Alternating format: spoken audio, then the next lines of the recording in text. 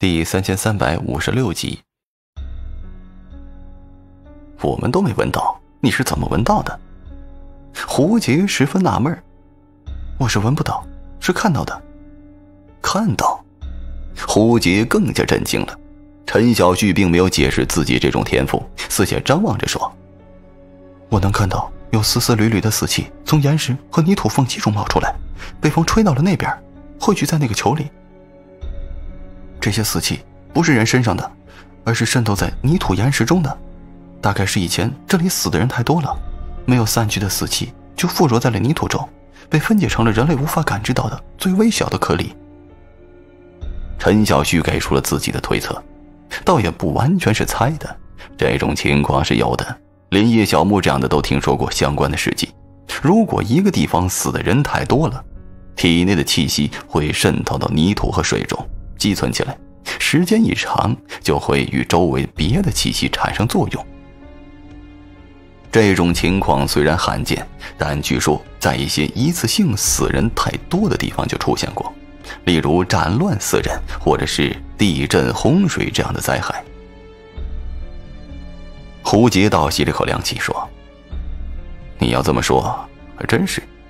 我们之前调查过，这一带叫凤凰山。当年打仗的时候，这里是一个土匪窝，后来被军队打击，附近十里八乡的土匪都被逼到了这儿，后来被全部剿灭了，死了至少得有几千人。因为都是土匪，也没人来认领尸体。”山路不通，这附近几座山上全部埋着大量的死人。啊，这么一想，有源源不断的死气，倒也不奇怪了。大伙沉默了一会儿，苏烟说：“那么问题是，这个红色的球体到底是什么呢？为什么会吸收死气？”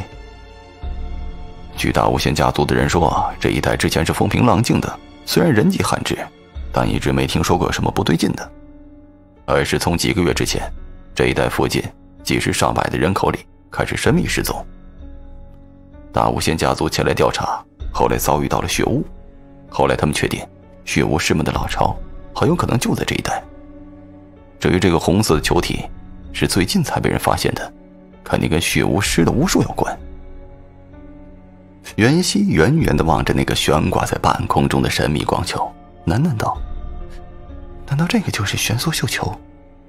这个胡杰当然也无法确定，只说当初疯传玄素绣球会出现在西北一带，他们奉命过来寻找，结果在这一带找到了这个，晚上就会出现红色光球，从外形上看，有点像是绣球。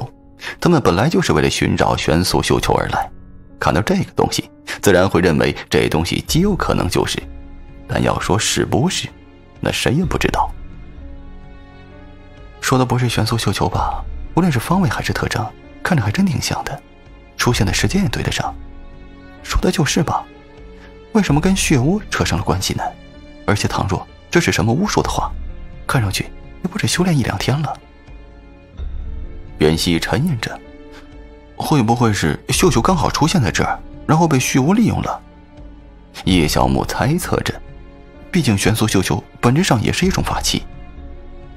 袁熙说：“你是说，这帮血巫在祭炼绣球？”这个猜测让大家都吃了一惊。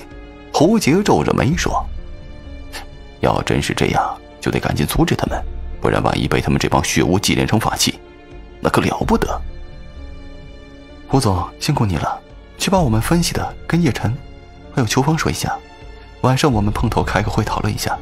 你先下山，我们这就下去。胡杰立刻下山，留下来的除了张宇夫妻，还有曹云凯、曹思雨和孙雨桐。他们几个都是八字的嫡系。之前袁熙他们讨论的时候，他们一直在附近听着，没有参与进来。袁熙让他们围着自己坐下，说：“你们几个怎么一直不说话？”张宇耸了耸肩，用不爽的口吻说：“你不是有智囊团了吗？还要我们做什么？”原来是跟叶小木他们置气呢，不想与他们为伍。袁熙没好气的瞪了张宇一眼。我知道你看不上他们，我眼下也没空跟你们说这些。但有一点，你们都是我自己人，我在这里帮手不多。你们是干什么来的？为了玄素绣球啊？你们一定要帮我得到他。其余的以后再说，怎么样？苏燕有点奇怪，之前都说是一起行动，怎么现在成了帮他了？不过他对玄素绣球也没什么兴趣，于是点了点头。叶小木三人自然也没意见。张宇几个人互相看了看，任洛安说：“我们来这就是为了这个的，不过我不认为他们能帮到什么忙。那是我的事儿了，反正你们认准的我就是了，有问题吗？没问题。”任洛安耸了耸肩，张宇他们也都说了没问题。苏燕于是给他们几个安排了任务，让他们再去找几个人，先展开调查。虽然赌场中间不能去，但是周围环境还是可以调查一下的。那些血巫师未必就能住在赌场里，想要去拿玄素绣球，最好先把他们搞定了。走之前，大家又站在山顶上，朝那个神秘的红色光球望了过去。如此不可思议的一幕，就这么出现在了现实世界中，给人的感觉是那样的震撼。这一个晚上，所有赶到这里的人，不管是工会中心派出的小队成员，还是那些自发赶来参与的法师，都在山上不同的位置看到了这震撼的一幕。很多人凭着直觉相信，这东西就是传说中的悬素绣球。本集播讲完毕，感谢您的收听。